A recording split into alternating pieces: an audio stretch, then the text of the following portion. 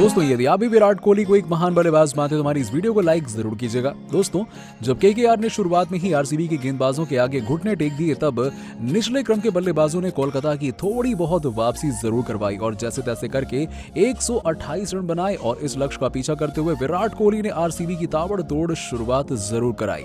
लेकिन उमेश यादव की खतरनाक गेंदबाजी के आगे के के सभी प्रशंसक यही बोल रहे हैं कि पिक्चर अभी बाकी है। यदि आपको भी इस सांस रोक देने वाले मुकाबले की पूरी हाईलाइट्स के बारे में जानना है तो हमारे इस वीडियो को एंड तक ज़रूर देखिएगा। लेकिन हाँ उससे पहले आप सभी को क्या लगता है कि विराट कोहली और श्रेयस अय्यर में कौन है खतरनाक बल्लेबाज? इस बात का जवाब हमें नीचे कॉमेंट सेक्शन में ज़रूर दीजिएगा। दोस्तों के और आरसीबी के बीच में खेले जा रहे आईपीएल के छठवें मुकाबले में हमें गजब का रोमांच देखने को मिला। ये मुकाबला ऊँट की तरह हो गया। कभी इस करवट तो कभी उस करवट।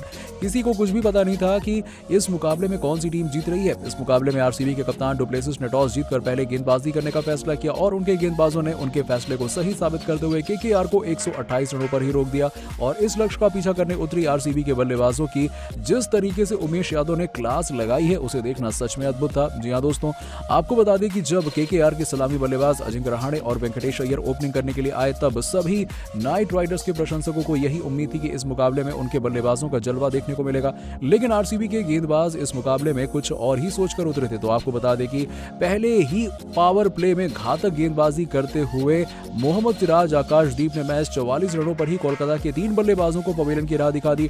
और इसमें अजिंक्य रहाड़े वेंकटेश अय्यर से लेकर नीतीश राणा जैसे बड़े बड़े नाम थे। वहीं इसके बाद अभी के संभल पाती की मिस्ट्री स्पिनर हसरंगा आकर कप्तान सुरेश अय्यर को भी पवेलियन की राह दिखा दी। अब यहाँ से पूरी के की टीम जैसे ताश के पत्तों की तरह बिखर गई और आपको बता दें कि निचले क्रम के बल्लेबाजों की अच्छी बल्लेबाजी की बदौलत के ने 128 रनों का लक्ष्य आरसीबी के सामने रखा। और वहीं अगर गेंदबाजी की बात करें तो बेंगलुरु के गेंदबाजों ने इस मुकाबले में गजब की गेंदबाजी, स्पिनर हसरंगा ने चार विकेट अपने नाम कर लिए तो वहीं अनकैप्ड खिलाड़ी आकाशदीप सिंह ने तीन सफलताएँ अपने नाम की। और वहीं पिछले साल के purple cap holder Harshal Patel ने दो बल्लेबाजों को पवेलियन की राह दिखा दी और वहीं उन्होंने अपने चार ओवर के कोटे में महज ग्यारह रन खर्च किए।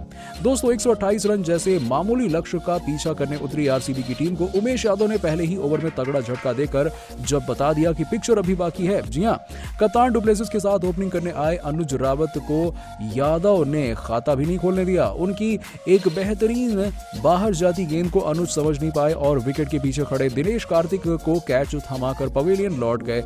लेकिन दोस्तों इसके बाद मैदान पर बल्लेबाजी करने आए दुनिया के महान बल्लेबाजों में से एक विराट कोहली ने आते ही उमेश यादव को दो करारे चौके लगाए और उनकी आतिशी बल्लेबाजी को देखकर मैदान में सभी प्रशंसक झूम उठे। आज विराट कोहली जिस मूड में बल्लेबाजी करने उतरे थे, उसे देखते हुए ऐसा लग रहा था कि वो इस मुकाबले में 10 ओवर के भीतर ही मैच को खत्म करना चाहते हैं, लेकिन दूसरे छोर पर बल्लेबाजी करने आए कप्तान डुप्लेसिस तो आज के मुकाबले में शामिल किए गए टिम साउदी ने अजिंक्य रहाणे के हाथों उन्हें कैच आउट करवाकर दो ओवर के भीतर ही आरसीबी को दूसरा झटका दे डाला।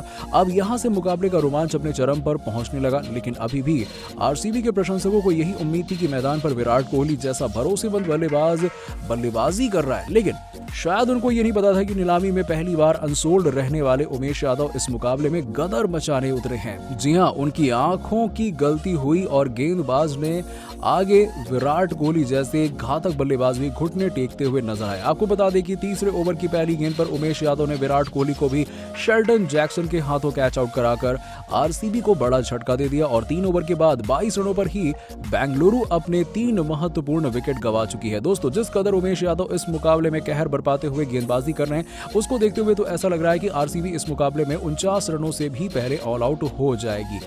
भी आरसीबी को जीत के लिए चौरासी गेंदों में तिरानवे रनों की दरकार है। वैसे देखने वाली बात तो यह है कि लक्ष्य काफ़ी आसान लगता है, लेकिन के के घातक गेंदबाजों के आगे यही लक्ष्य काफ़ी मुश्किल है।